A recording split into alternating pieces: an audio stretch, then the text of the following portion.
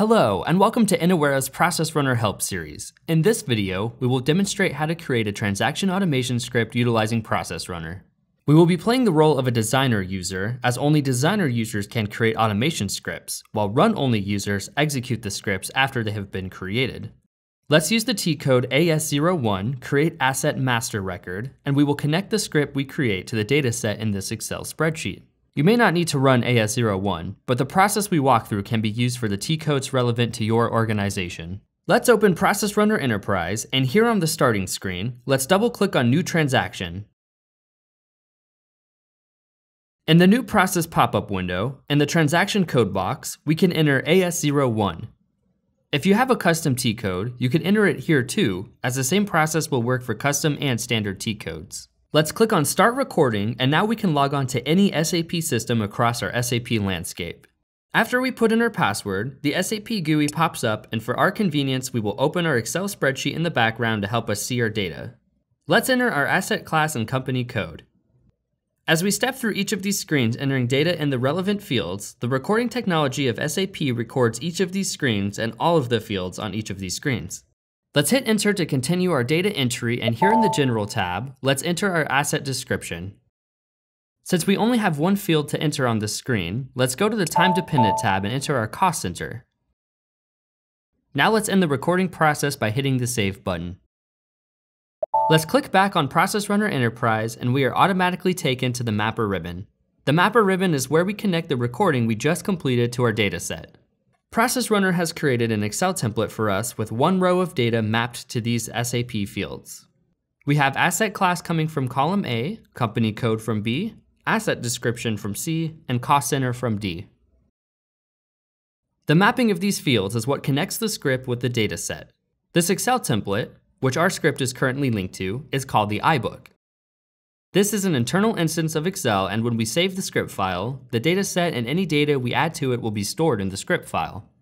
We can add data to the iBook by clicking on the iBook ribbon.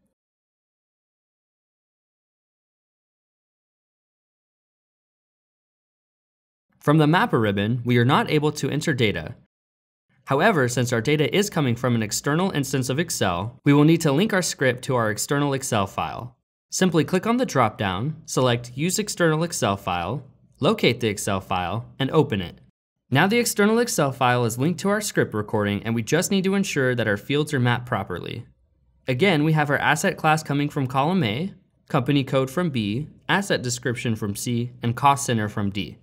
We can easily change and manipulate our script to match our Excel data layout. For example, if our cost center data was actually in column E, we can simply drag and drop the column to the field, and immediately the cost center is mapped to column E. If we don't want to drag and drop, we can also type in the values manually.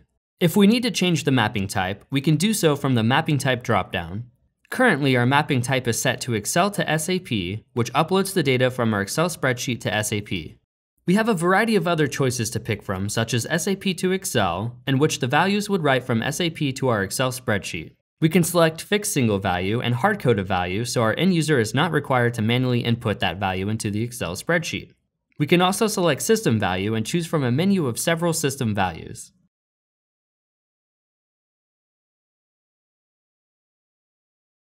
The last mapping type is Excel cell value, which maps an individual cell in Excel as opposed to an entire column.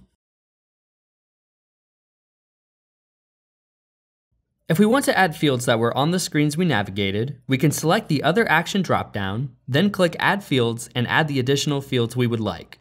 Let's select quantity and base unit of measure, and as we select them, Process Runner automatically maps them to our script. We can add them by clicking the Add All Selected button, and now they are successfully added. If we click on File and select Save As, we can save different versions of this script with the different mapping types.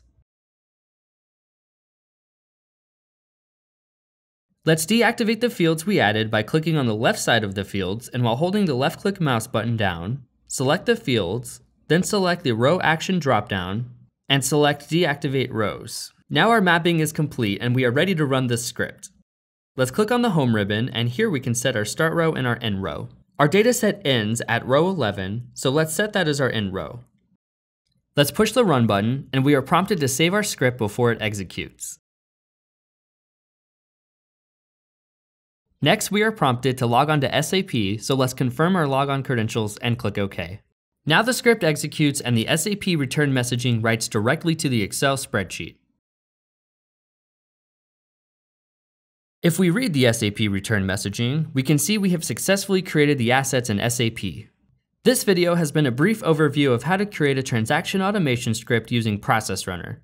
If you would like further assistance with Process Runner, more online resources can be accessed from the Help ribbon, such as step-by-step -step tutorials and video tutorials. Thank you for watching.